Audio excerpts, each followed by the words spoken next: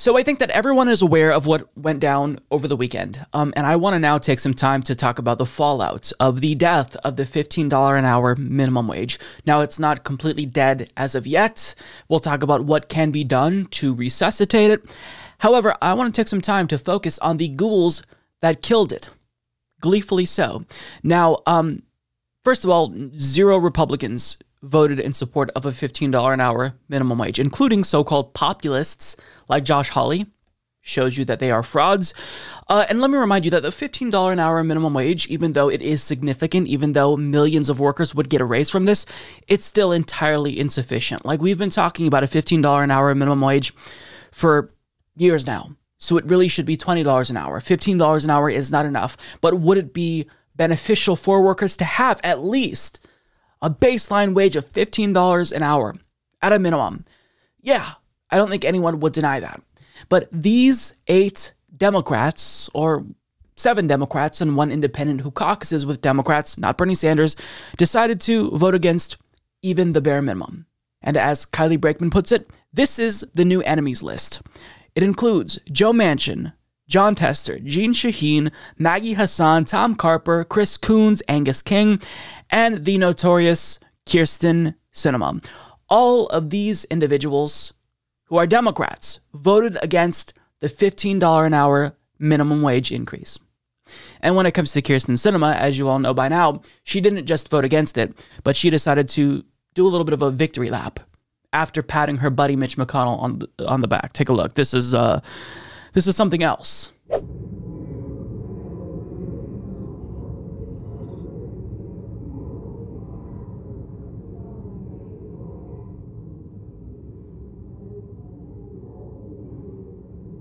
Miss Sinema, Miss Sinema. No.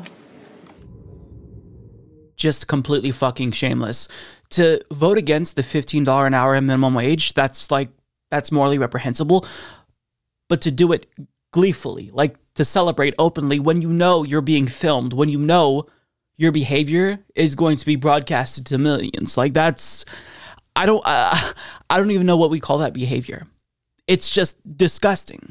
Uh, however, if you uh, were offended that Kyrsten Sinema decided to pour salt in the wounds of workers who desperately needed an increase in the minimum wage, well, congratulations, you're a gigantic sexist. Because as Amanda Terkel of HuffPost reports, Senator Sinema's spokesperson said it's sexist to comment on a female politician's body language or physical demeanor when HuffPost inquired about her thumbs down vote on the minimum wage. Yeah. Nobody buys this. Not a single person buys this. She is very obviously trying to deflect and shield herself from criticism. And look, I'm going to do a little bit of a reverse Uno card on him and say that if you criticize me and say that I'm sexist, since you're criticizing me, a gay man, I'm going to say that that's homophobic to criticize me in any way whatsoever. So, uh, Kyrsten Sinema must be homophobic for not allowing me to criticize her. Are you are you really trying to like dictate how a gay man criticizes powerful people and elites. Really, Kyrsten Sinema? Is that what you're trying to do? You homophobe? Look, it, it's all ridiculous, right? Of course, that's not an actual argument I'm making because I am actually a serious person. Whereas the spokesperson for Kyrsten Sinema and Sinema herself, they're not serious people. But she got a lot of backlash, and I'm sure that you know about this or you're you were part of it. Uh, I just want to give you a small sample of uh, the outrage that she invited uh, because she decided to just play it off, pretend like she didn't just like give American workers the middle finger. And she tweeted this out Wow, incredibly grateful for Arizona's frontline workers caring for loved ones during the pandemic. Now, as you can see, uh, this is just shameless. Uh, let's go to her page because I want you to see the ratio because it gives you a sense um, of how many people were not buying her bullshit. So you see 16,000 replies to 2.7 thousand likes nobody believes this because if she actually cared about frontline workers in Arizona, then she would make sure that some of them wouldn't be making less than a $15 an hour minimum wage. And she was met with this image. I also uh, decided to participate, uh, which says fuck the poor on her mask, because that is essentially what her little, you know, stunt demonstrated. Like it, it was a message to workers. You see uh, Chelsea Manning saying this as well. You see Savage Joy sharing this. Uh, Kyrsten Sinema, world's cutest neo-fascist. Uh, you can't see like the text, but this is what the bottom of it says. See the image again. Vaush saying, damn, you know what piece of legislation those essential workers would have benefited from? Um, you see the amazing atheist joining in. Benjamin Dixon is saying, May I recommend careerbuilder.com? Basically saying your career is over. Ken Klippenstein actually shared this image and told people to uh, to spam it. Uh, you see uh, good politic guy, great YouTube channel, by the way, uh, saying that. So that was a fucking lie. I love this meme by Tyler the Creator. And basically, if we scroll down, you will see this meme over and over and over again. Uh, Anthony Fantano, shout out to my boy here, saying, uh, then pay them more, dummy.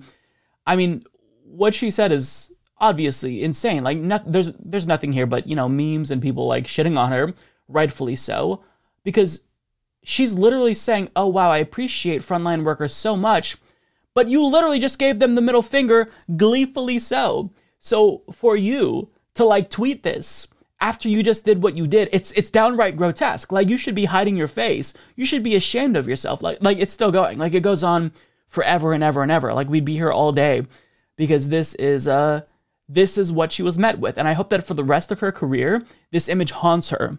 So I mean, um, it is really satisfying to see everyone like call out her bullshit, but at the same time, at the end of the day, she still gets the last laugh because she she wins. She killed the policy that would have helped millions of Americans. And if Democrats, like if eight Democrats if they deflect on the $15 an hour minimum wage, what does this mean? Like, is it even possible? Well, the answer is yes, but two things have to happen. First of all, Joe Biden actually has to fight. Joe Biden has not been doing anything to put pressure on conservative Democrats like uh, Joe Manchin and Kyrsten Sinema.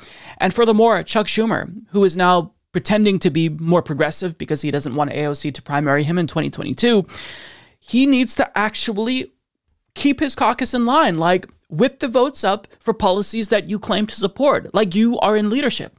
But Claire McCaskill actually kind of like gave us some insight after she, or when she was competing against Josh Hawley back in 2018. And she said, look, Chuck Schumer is great because he doesn't really try to like control us. He lets us do whatever we want. That's an issue.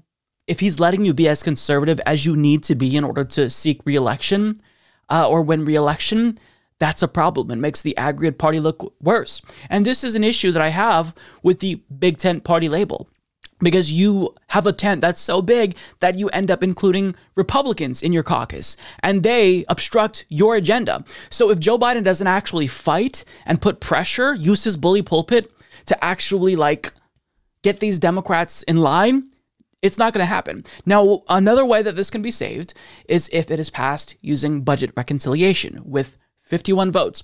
That means it is going to have to go in a piece of legislation that Joe Biden really wants to get passed. And he wants to pass his $1.9 trillion COVID relief package. Now, here's the thing it's going to go back to the House. If progressives actually bind together, they can block this and vote against the COVID relief package unless it includes a $15 an hour minimum wage provision that could help get this codified into law. Because here's the thing it's clear now you're not going to pass this with uh, 60 votes. If if you try to pass the $15 an hour minimum wage with 60 votes, it's not going to happen. So 51 votes is going to be difficult. So you have to put it in legislation that uh, these Democratic senators don't want to vote against. And that $1.9 trillion COVID relief package is definitely something that they don't want to vote against. So if progressives bind together and they say, we will not support this package when it comes back to the House unless it includes a $15 an hour minimum wage, then that can actually help. Because here's the thing currently, the balance of power very clearly tips in the scales. Uh, tips on the side of uh, conservative Democrats. They are controlling everything. They are dictating what is or isn't including in, uh, included in legislation.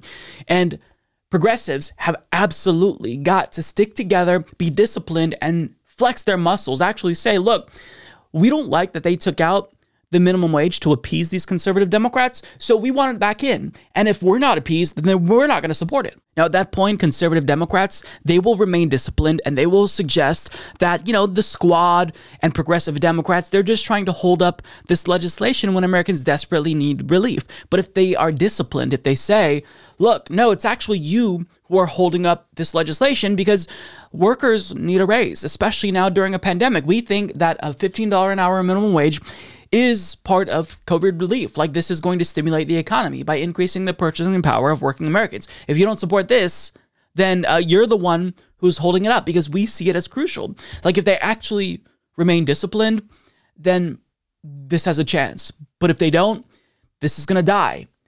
And uh, I think that they should bear some of the responsibility and accept that they didn't fight hard enough for this. Because the pattern that we're seeing here is that the left and the squad, they have no say in any legislation whatsoever. They make recommendations and they tweet about it, which is great, but you don't actually control anything if it is conservatives who are constantly dictating what goes in legislation and what gets taken out of legislation. You actually have to withhold your votes and really remain disciplined, bind together, be a strong bloc, so that way, you know, everyone in Congress is trying to appease you and not these conservative Democrats who should have no say whatsoever right now, especially when the American people need relief. So that's what I want to see. Am I uh, optimistic? No, not necessarily. Does it seem like the $15 an hour minimum wage is dead? Yeah, it really seems that way. And that's just fucking pathetic. It's pathetic. Like, this is what Democrats ran on. And if they don't deliver, they have nobody to blame but themselves. Joe Biden will have nobody to blame but himself if he loses control in 2022 and if Democrats lose in 2024 handily. Because if you don't deliver for the American people, they're not going to come out and vote for you.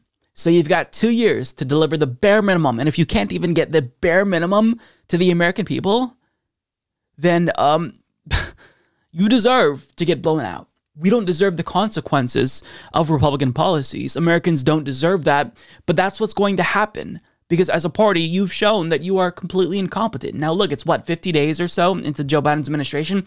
He can still turn things around. He can actually choose to fight or just remain passive as he's been and allow conservative Democrats to obstruct his entire agenda. But if he does this, he's going to learn real quick that the American people will not be there for him and the Democratic Party. So, uh, I mean, I I don't know what else to say. Like, this story is uh, grotesque, but it's not surprising because the Democratic Party is a big tent party, and when you allow Republicans into your coalition, things like this happen. When you allow Republicans like Kyrsten Sinema into your party rather than kicking them out and marginalizing them, this is what happens.